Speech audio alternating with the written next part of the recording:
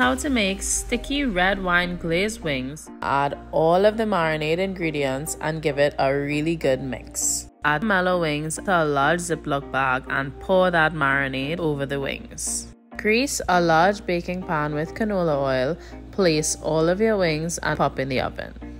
After 15 minutes, take those wings out and baste them with the marinade once again. Place back into the oven and repeat after another 15 minutes. Add 1 cup of Asti red wine, half cup of sugar, 1 diced tomato and 2 tablespoons of molasses. Mix the cornstarch with the remaining quarter cup of red wine. Cook this glaze for a total of 10 minutes. Turn off the heat and let it rest for an additional 10 minutes.